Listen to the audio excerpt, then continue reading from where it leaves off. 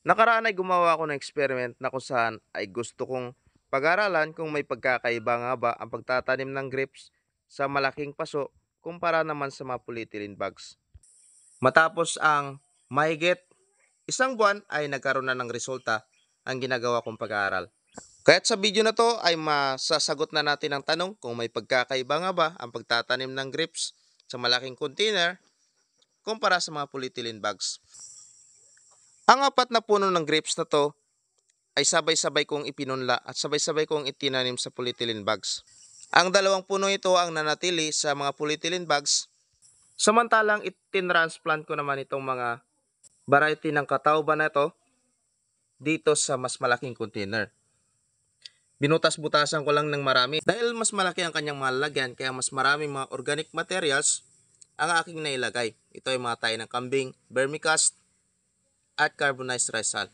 Pareho lang sila ng composition ng nasa polyethylene bags. At ngayon nasa 28 days na simula nung ginawa ko ito ay nasa 2 meters na ang mga grapes na naitanim ko sa malaking container. Samantalang itong nasa polyethylene bags naman ay nasa more than 1 foot pa lang ang haba ng kanyang mga vines.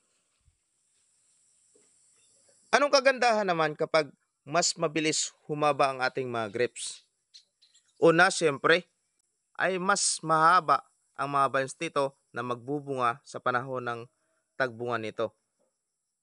Samantalang kapag matagal namang humaba ang ating grapes, sahan natin na mas matagal itong lumaki.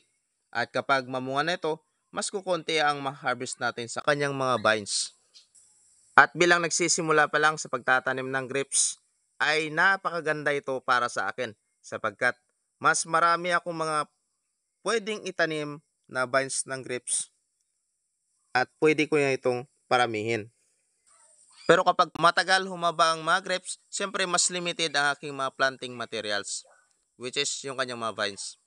Kaya kung gusto nyong mas mabilis humaba ang inyong mga grapes sa pasuman yan o kung saan, kailangan gumamit kayo ng malaking container at siyempre importante rin ang matabang lupa. Kaya ang ginagamit ko dito ay tayo ng kambing, vermicast na subok na subok ko na. Maraming salamat sa inyong panonood. Please like and follow for more. Thank you so much.